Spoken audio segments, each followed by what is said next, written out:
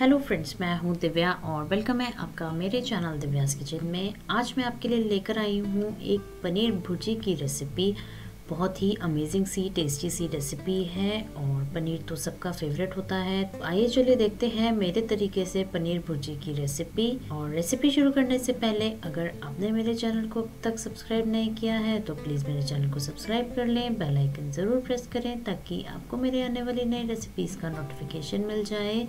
तो आइए चलिए देखते हैं इसकी रेसिपी तो यहाँ पे हमने एक पैन में ऑयल ले लिया है, एक चम्मच के करीब मैंने ऑयल लिया है और इसमें मैं डाल रही हूँ जीरा। मैं यहाँ पे डाल रही हूँ अदरक और हरी मिर्च, जो कि मैंने इस तरीके से बारीक काट ली है। और इसमें हम डालेंगे प्याज, बहुत ही बारीक कटा हुआ प्याज मैं यहाँ पे डाल रही हूँ। इसको अभी हम सौते कर लेते हैं थोड़ा सा। थोड़ा सा प्याज का कलर ट्रांसल्यूसेंट हो जाए, थोड़ा प्याज ट्रांसपेरेंट जैसा हो जाए, तब तक हम इसे फ्राई करेंगे।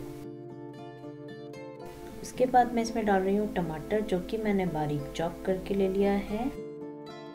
और इसको भी अभी हम फ्राई कर लेंगे। टमाटर थोड़ा सा मशी सॉफ्ट हो जाए, तब तक हम इसे फ्राई करेंगे। और उसके बाद मैं इसमें डाल रही हूँ धनिया, सूखा धनिया है ये। और इसमें डालेंगे थोड़ी सी लाल मिर्च, थोड़ा सा डाल रही हूँ हल्दी पाउडर, थोड़ा सा डाला है नमक। इन सभी को मिक्स कर लेंगे अच्छे से और दो तीन मिनट के लिए अभी हम इस मसाले को और भूनेंगे। तो मसाला अभी यहाँ पे अच्छे से भुन चुका है। इसमें मैं डालने लगी हूँ कैप्सिकम, जो कि मैंने ये बारीक बारीक काट के कैप्सिकम रखा हुआ है। इससे पनीर भुर्जी का टेस्ट और भी मज़ेदार हो जाता है तो अभी इसको भी हम सौते कर लेंगे थोड़ा। कैप्सिकम बहुत जल्दी गल जाता है तो बस अभी हम इसे थोड़ा सा भूनेंगे। इस तरीके से जब तक ये गल ना जाए थोड़ा। अब मैं इसमें डाल रही हूँ पनीर। पनीर को मैंने मोटे वाले कद्दूकस से ग्रेट कर लिया था। आप इसे हाथ से मैश भी कर सकते हैं। तो इसको भी हम थोड़ा मिक्स कर लेंगे। थोड़ा सा हम पनीर को भूनेंगे।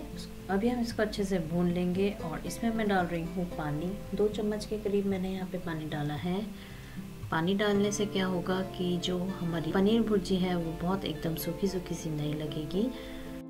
तो यहाँ पे अब इसे अच्छे से मिक्स कर लेंगे।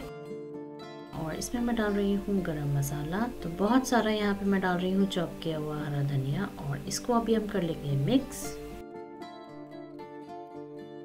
तो मिनटों में बनने वाली पनीर भुर्जी बनके बिल्कुल रेडी हो चुकी है। ये देखिए कितनी अच्छी कंसिस्टेंसी इसकी आई है। देखने में भी कितनी अमेजिंग सी लग रही है। इसको करते हैं हम गर्मा गर्म सर्व इसको आप पराठे, रोटी या नान के साथ सर्व करें।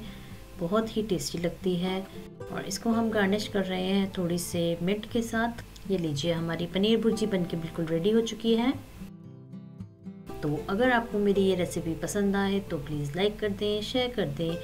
और कमेंट सेक्शन में लिख के ज़रूर बताएँ आपको मेरी ये रेसिपी कैसी लगी। फिर मिलते हैं नेक्स्ट किसी रेसिपी के साथ। तब तक के लिए बाय बाय